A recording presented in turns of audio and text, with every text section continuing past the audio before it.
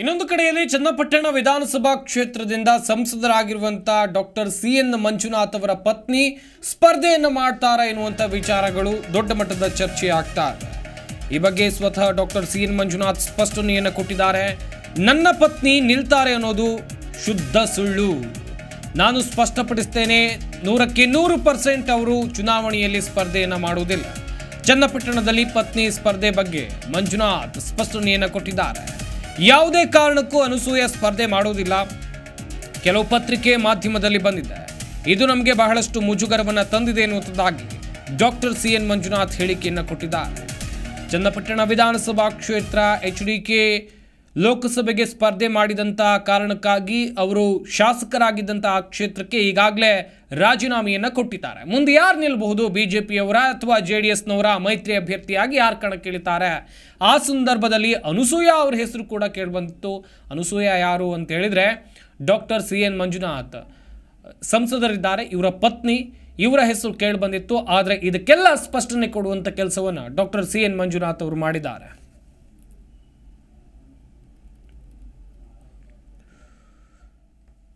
ಸದ್ಯ ಸ್ಪಷ್ಟನೆ ಕೊಡುವಂಥ ಕೆಲಸವನ್ನು ಮಾಡಿದ್ದಾರೆ. ನನ್ನ ಪತ್ನಿ ಯಾವುದೇ ಕಾರಣಕ್ಕೂ ಚುನಾವಣೆಯಲ್ಲಿ ಸ್ಪರ್ಧೆ ಮಾಡೋದಿಲ್ಲ. ನಾನು ಈ ಬಗ್ಗೆ ಸ್ಪಷ್ಟಪಡಿಸ್ತೇನೆ. ನೂರು ಪರ್ಸೆಂಟ್ ಅವರು ನಿಲ್ಲೋದಿಲ್ಲ. ಚನ್ನಪಟ್ಟಣದಲ್ಲಿ ಪತ್ನಿ ಸ್ಪರ್ಧೆ ಬಗ್ಗೆ ಡಾಕ್ಟರ್ ಸಿ ಎನ್ ಮಂಜುನಾಥ್ ಅವರು ಸ್ಪಷ್ಟನೆಯನ್ನು ಪಡಿಸಿದ್ದಾರೆ. ಯಾವುದೇ ಕಾರಣಕ್ಕೂ ಅನಸೂಯ ಸ್ಪರ್ಧೆ ಮಾಡೋದಿಲ್ಲ.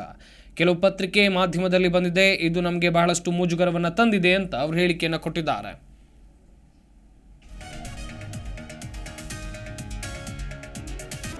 ಜಿ ಕನ್ನಡ ನ್ಯೂಸ್ ಈಗ ನಿಮ್ಮ ಮನೆಯಲ್ಲೇ ನೋಡಿ. ಎಲ್ಲ ಕೇಬಲ್ಗಳಲ್ಲಿ ಈಗ ಲಭ್ಯ.